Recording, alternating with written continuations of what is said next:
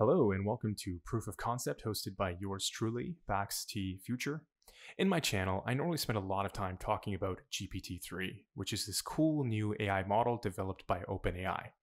But today, I also want to talk about the other company I think will be the most significant for humanity in this next decade, which is Neuralink.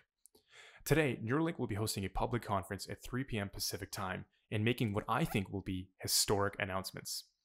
Neuralink is literally building a brain implant which will allow humans to interact with computers and devices, and I personally think it deserves far more attention than the amount of hype given to other consumer electronic announcements. I won't say who, such as a thinner phone, or perhaps a waterproof phone, or a phone which can recognize your face.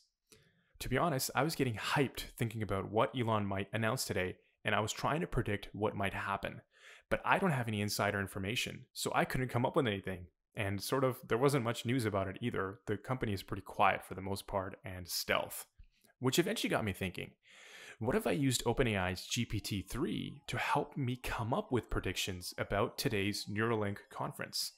So, today, before the conference, I will be sharing my findings from this experiment. Let's get started.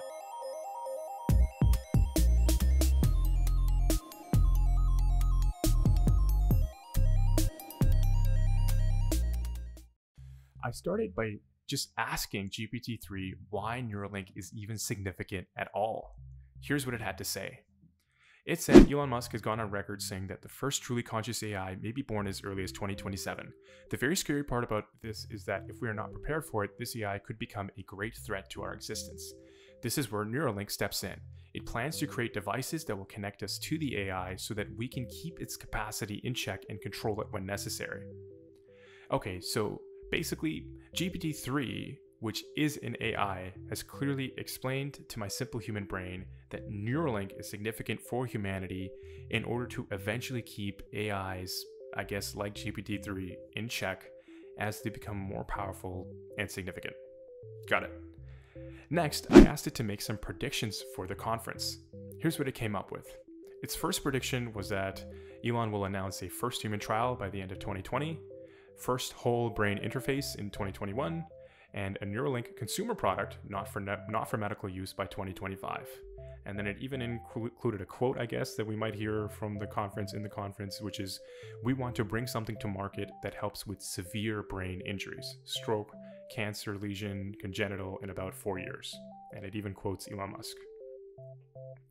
In another round of predictions, I had it run again. Uh, the first prediction is made as first human trial by the end of 2020. I, I guess it feels pretty strongly about this.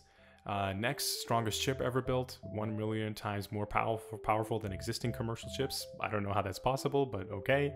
First demonstration of a brain computer interface with the human brain. I guess that's what GPT 3 is saying, what we might see today. A working Neuralink in vivo robot by the end of 2021.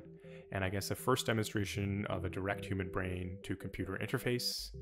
Um, and it goes on to say like the benefits like we could see through other people's eyes or have sight beamed into our mind. In the third round of predictions uh, it predicted the same thing which is the first human trial by the end of 2020 uh, first implementation of the neuralink technology in a human being by march of 2021 and then i guess it's even saying we could even see an announcement for the first brain machine interface devices on sale for general consumers within 18 months now, this seems pretty ambitious to me. I don't even think uh, Elon has said they're on that kind of timeline. 18 months is pretty soon.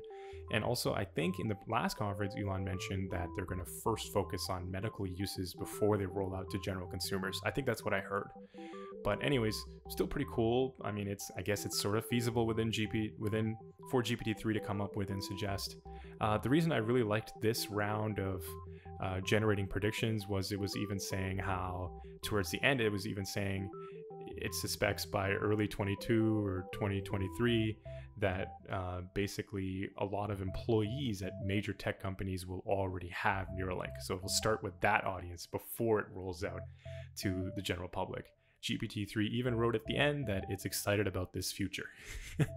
so which is an awesome awesome way to include its own opinion in the predictions it's making about Neuralink and our future. Uh, so far, I think GPT-3 feels really strongly that we'll see some kind of human trial by the end of 2020, that that's what's going to be announced today. But I'd love to see how these other predictions pan out as well. After the conference, if anyone wants to come back to this video and comment on how GPT-3 did, I'd love to read and participate in the discussion. I will eventually be releasing a follow-up video on the implications of Neuralink and if you combined it with GPT-3 in the future and what it means for us. That's all for today. Make sure you like this video and subscribe to my channel for cool prototypes, interesting concepts, interesting ideas about the future. Thanks for watching.